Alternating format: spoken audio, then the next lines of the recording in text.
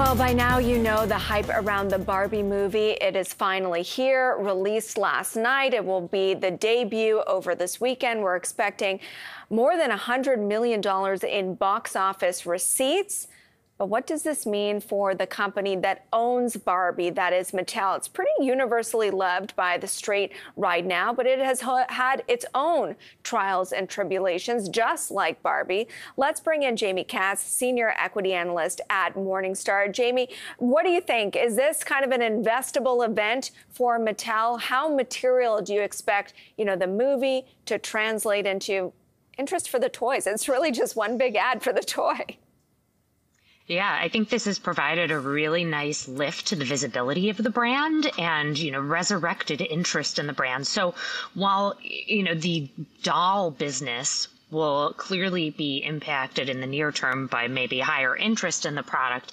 I think what we're really interested to see, interested to see more is how the consumer products um, that have been out licensed from the Barbie brand uh, will contribute to this. Uh, as I'm sure you know, many consumers have seen, there are things like Barbie uh, Crocs, there's Barbie frozen yogurt, there's Barbie um, by Gap. And so all of these products sort of add to the cultural wheelhouse of reminding consumers what Barbie is about and why they should be interested in her. And that just creates sort of positive momentum around around the name um, from a brand perspective. What's been the business model around this whole thing? You know, the with all the crazy marketing that's literally everywhere there, um, and and and now the movie, like dollars and cents, how much accrues to Mattel?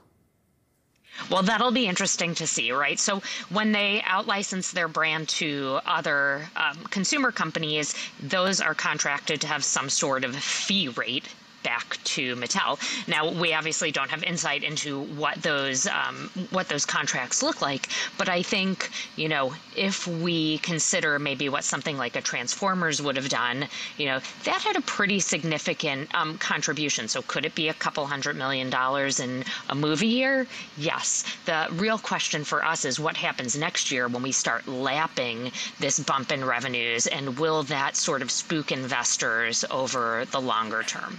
Has the company talked about this being almost a strategic pivot point? Um, we've heard reports of them, you know, digging into the toy chest literally and saying, okay, what else can we turn into a movie? Does Mattel get a media unit?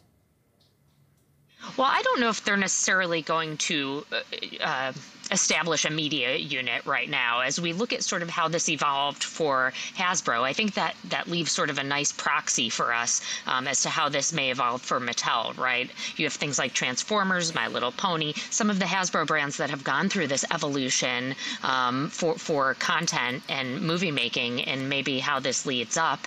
And I think the partnership model works very well because making movies may not be Mattel's core competency um, at this stage of the game, and quite frankly, they're at a really good place operationally um, with you know their manufacturing and their third-party manufacturing, and just sort of refocusing on the brands that have the best ROI for them. Why do you have a buy on Mattel? What's the catalyst?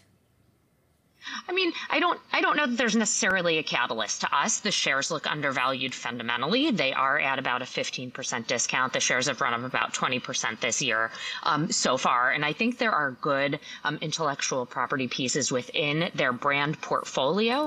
Uh, I do think that if you want something with a little bit more of a discount, Hasbro is still trading at closer to a 40% discount. But both of these businesses have a very well port, uh, known portfolio of brands um, that consumers are very loyal to, and they're figuring out how to capitalize and monetize those brands. Um, and that really allows those businesses to uh, generate a, a, decent amount of free cash flow and then return the, the cash to shareholders. Well, as excited as I am about the movie, I am interested to know, you know, how much of the hype has already been built into the stock. As recent rally, um, let's call it month, in the past month, the stock is up 19%. Um, you know, do you have numbers around what this what this movie, what this interest could do in terms of material sales growth?